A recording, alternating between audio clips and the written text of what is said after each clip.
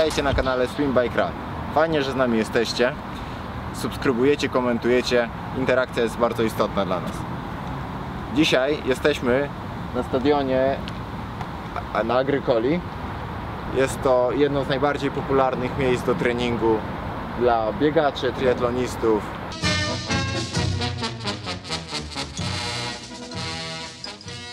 Jest super. Z tego miejsca chciałbym dzisiaj z Wami porozmawiać o bardzo istotnym y, szczególe naszych codziennych treningów, czyli o regeneracji i odpoczynku. Tak się składa, że jesteśmy w trakcie sezonu. Y, część z Was już startowała, część swoje pierwsze starty ma za chwilę i w czasie, w tym całym pędzie codziennym zapominamy o tym, żeby odpocząć, zregenerować się, dzięki czemu nasze wysiłki podczas treningu nie, nie będą szły na marne. Czym różni się zawodowiec od amatora?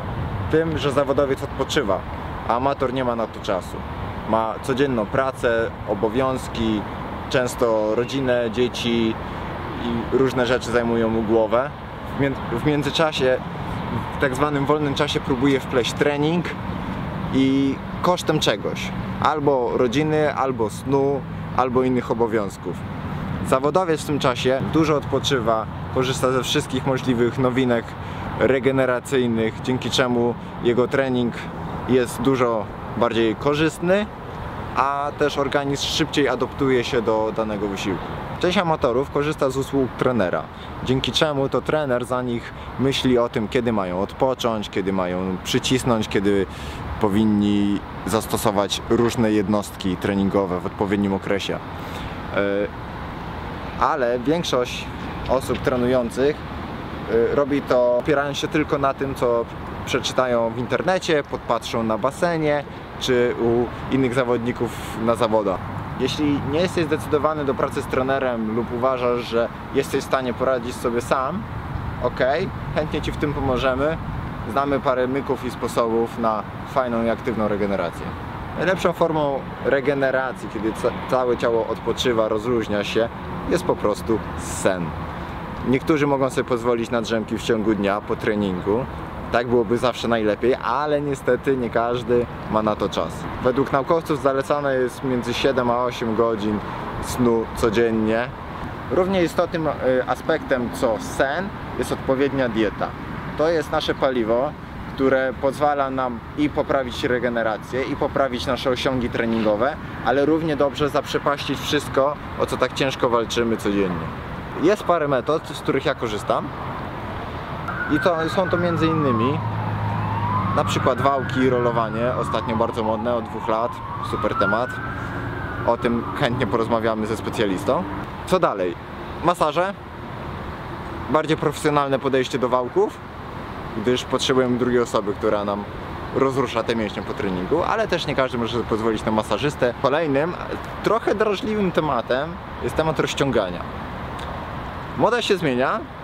Raz mówią rozciągać mocno, innym razem w ogóle nie rozciągać, nie naciągać, nie pogłębiać.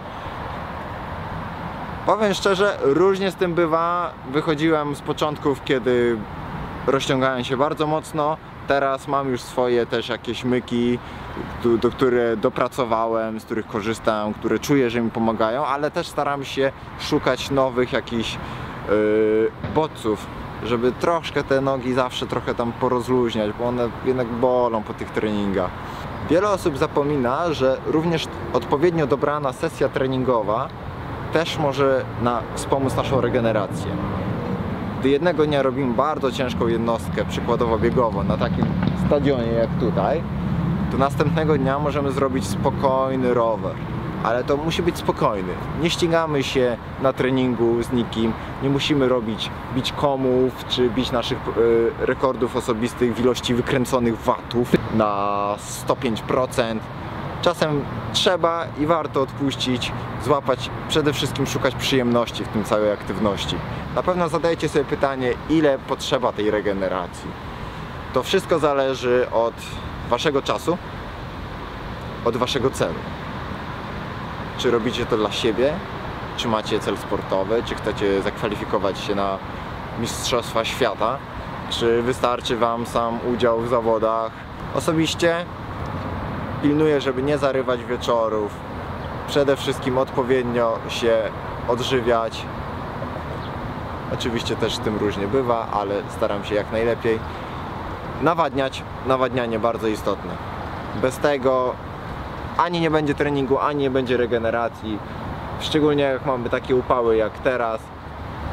Bez wody ani rusz. Cały czas zawsze miejcie ją przy sobie. Po paru latach jako, jako że bawię się już trochę, najpierw bieganie, potem w triatlon, to nauczyłem trochę się słuchać swego organizmu. I dzięki temu wiem, że czasami mogę sobie odpuścić, bo też szkoda zdrowia. Uważajcie na kontuzje przeciążeniowe. Przechodziłem różne drogi, yy, korzystałem z różnych porad, lepszych, gorszych. To były też trochę inne czasy, jeszcze nie było jakiegoś takiego dostępu do wiedzy, tego sportu, w ogóle było mniej dookoła, dookoła mnie w ogóle, a też nie było to aż tak popularne, nie było social mediów, one dopiero się rozkręcały. Nie było YouTube'a i takich fajnych kanałów jak ten nasz, na przykład. E, Do czego dążę? Chodzi o to, że amatorowi ciężko jest wyłapać to, co mu pomoże i a często zdarza się, że w różnych miejscach ludzie podrzucają naprawdę słabe pomysły.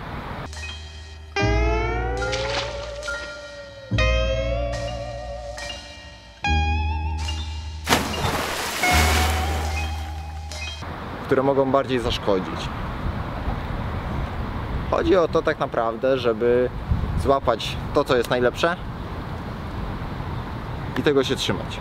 I to potem oczywiście rozwijać, bo ponieważ wszystkie, wszystkie bodźce, nie tylko regeneracja, trening, należy po jakimś czasie zmienić, na, gdyż następuje adaptacja organizmu do tego jednego bodźca czynnika. Jak sami widzicie, materiału jest bardzo dużo.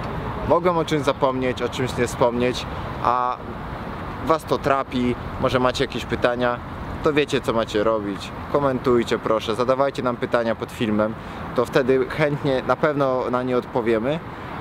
A jeżeli zbierze się tego wystarczająco dużo, to może stworzymy jakiś kolejny materiał, który rozwieje wszystkie Wasze wątpliwości. Pamiętajcie, trening plus odpowiednia regeneracja przyniesie Wam wyniki. Musicie to łączyć, nie możecie zapominać o którymś z tych aspektów. I dajcie sobie czas, nie śpieszcie się. Będzie forma wtedy, kiedy ma być, jeżeli dobrze się będzie, prowadzić.